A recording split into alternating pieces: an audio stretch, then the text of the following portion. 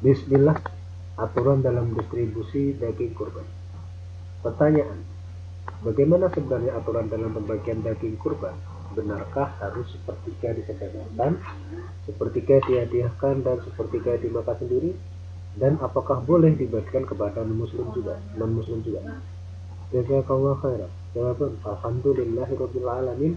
Wassalatu wassalamu ala wa ala alihi wa sahbihi ajma'in amma.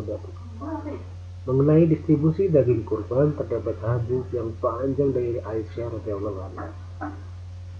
Ia berkata, langsung aja artinya. Orang-orang yang tinggal di gurun mempercepat langkahnya dan bersegera menghadiri Idul Adha di zaman Rasulullah Shallallahu Alaihi Wasallam. Ketika itu Rasulullah Shallallahu Alaihi Wasallam bersabda, simpanlah daging kurban tersebut hingga tiga hari setelah itu, sedekahkanlah yang masih tersisa.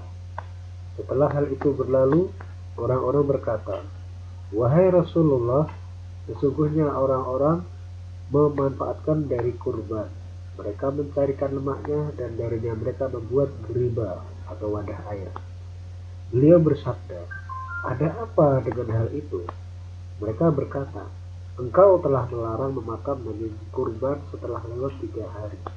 Beliau bersabda, sesungguhnya saya melarang demikian karena adanya sekelompok orang yang datang terburu-buru, yaitu orang-orang miskin dari guru. Namun, sekarang silahkan makanlah daging sembilan tersebut. Simpanlah dan bersedekahlah. Hadis riwayat Muslim nomor 1971. Dalam hadis ini Nabi Shallallahu Alaihi Wasallam sempat melarang penduduk Madinah untuk menyimpan daging kurban lebih dari tiga hari. Karena beliau melihat adanya orang-orang Badiah yang tinggal di tengah gurun yang membutuhkan daging tersebut.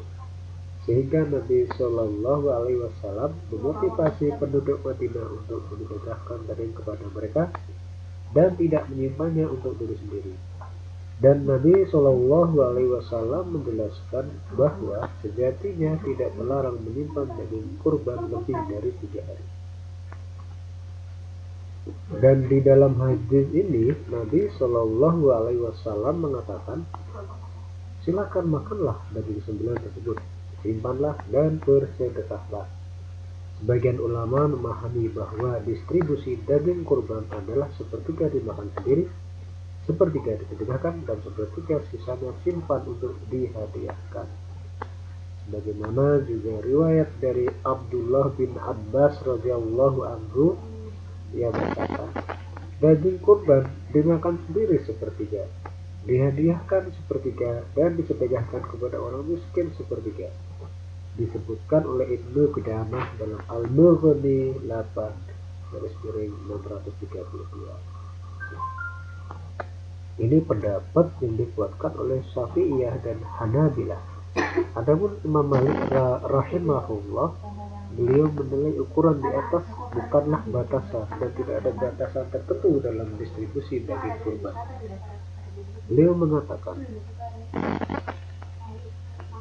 tidak ada batasan tertentu untuk kadar daging kurban yang dimakan sendiri atau disedekahkan atau dihadiahkan boleh diberikan kepada orang miskin ataupun orang kaya, boleh dalam keadaan mentah ataupun matang.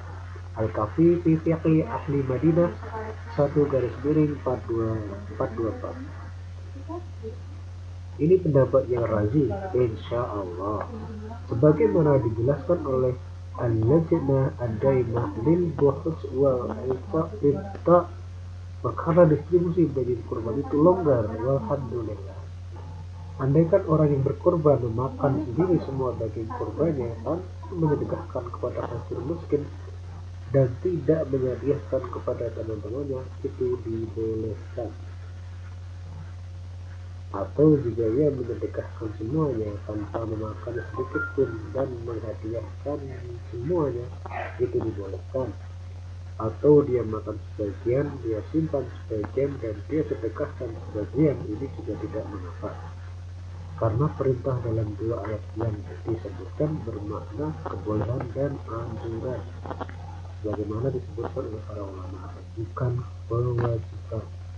Majalah Al-Buhuj Al-Islam ya juz 63 halaman 378 oke lanjut. Adapun memberikan daging kurban untuk non-muslim ini dibolehkan oleh para ulama sebagaimana difatwakan oleh Syekh Abdul Aziz bin Baz, Syekh Muhammad bin Salih Al-Utsaimin dan Al-Lajnah Ad-Da'imah lil Buhuj wal Ibta.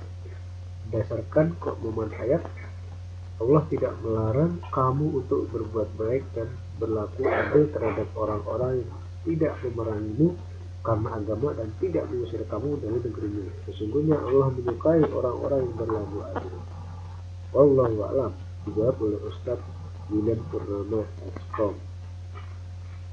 Baik, semoga menjadi suatu pengetahuan tambahan. Assalamualaikum warahmatullahi wabarakatuh.